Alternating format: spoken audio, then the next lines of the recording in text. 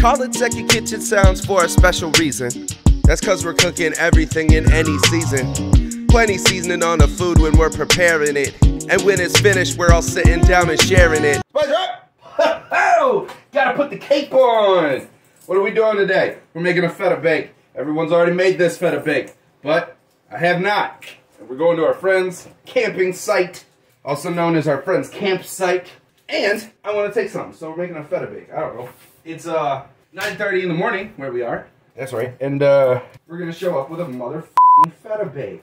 What a good time. Tomatoes. Can you see this? Probably. We're gonna come at this a little different. Onion skins, love them. Cut our onions. Not too small, not too big, just right, perfect size. If you like a size, you pick that size and you stick with it, baby. Boom, boom, boom, boom, boom, boom. Sound effects. Don't have to fix that in post, that's for sure.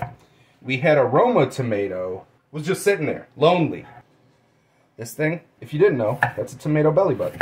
We're gonna use this as kind of like a catch-all for all of our old ingredients. This is an old bell pepper that was just sitting in the fridge. The technique, you cut it, you split it. Most people know the technique with an onion. I was probably 32 years old until I, until I realized this technique works with every vegetable out there. You can do the little slicey slicey and then turn that into a dicey dicey. So you slicey slicey, boomba boomba, and then you're dicey dicey. Look at that. We want our green peppers about the same size as our onions.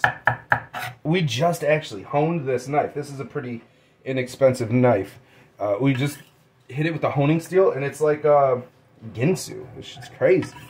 Ginsu isn't really that cool of a knife anymore, but at one time, it's the only knife Eminem would rap about.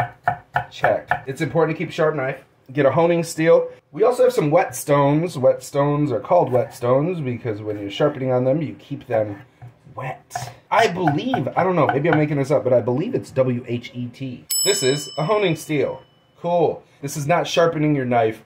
This is taking the edge, sharp part, and when you cut stuff, this edge gets uh, kind of round, kind of like if you eat a lot of food and you don't move around enough. It's really round. Where sharpening is like having a food program and exercising for a number of years, that's a whetstone. This is just like a New Year's resolution. When you go to the gym for three weeks and then you start eating cheeseburgers again. That's a honing steel. Slicey, slicey. I'm an idiot. Nice, so we got tomatoes, we got onions, we got green peppers. We're not going to throw the garlic in yet. Watch this. This is how we're going to come at it sideways. Uh, real feta is made of sheep's milk, which is a different kind of flavor than cow's milk. It's really good. Oh my goodness, guys. I feel we're also going to want a, a little bit of this feta juice. This is salty, and this is going to add some liquid. A lot of liquid is going to come out of these veggie veggies. Scoop of honey real quick. Oh, baby. okay, we still want salt, though. Got a lot of veggies. Hit it with some olive oil. Hit it with some salt. Oh, knocked you right in the side of the head there, huh? Goat cheese, should we? You don't see it with a lot of goat cheese. You want to be a one of one here. Mmm, so tangy. Love it. And we're in the oven at 375. We're going to let this ride for about a half hour. I'm going to want to boil some noodles.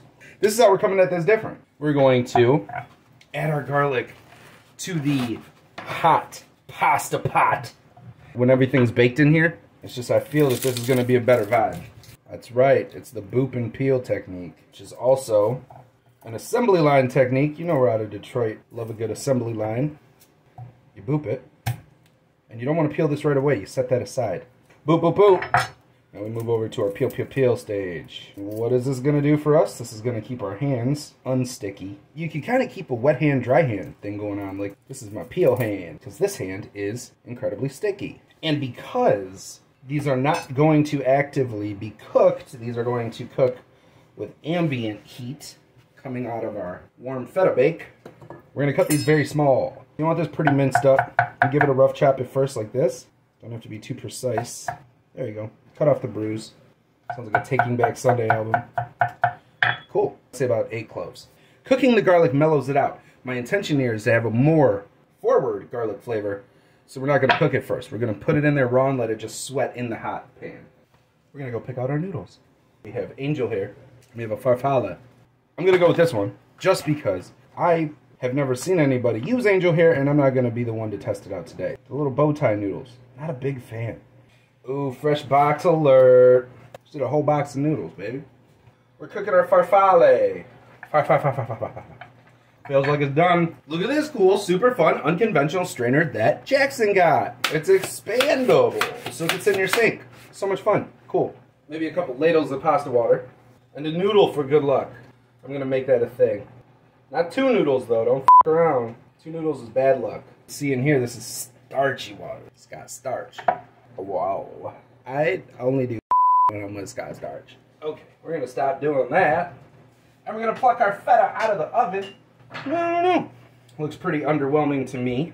Give it a mixy mix. Oh, we're gonna keep something on our paws so we don't touch this hot glass here. Almost forgot. One of the most important parts is to throw our garlic in when this is still piping hot. So you got about eight cloves of garlic going in. You don't want to lose any of that garlic, baby. Well, the first order of business is to get our actual noodles in here. This would make a great pasta salad. If we had some foresight and we made this yesterday, brought this to the party cold, I'm sure that would be about, let's say about a quarter cup of the pasta water. I wouldn't be mad at you if you threw some basil in. But if you're going to add basil to this, this is another hot tip. You're not going to want to cook the basil in this. Add it as an afterthought. So when this comes out of the oven, it's still really hot. You're still going to be at some cooking temperature. So you can add stuff like garlic, crushed red pepper on everything. A little high note. Oh yeah, that's good. Do you think it needs anything else? Maybe more salt. Maybe. Yeah, I can see it. What about some lemon juice? Lemon juice. I would say no. Lemon.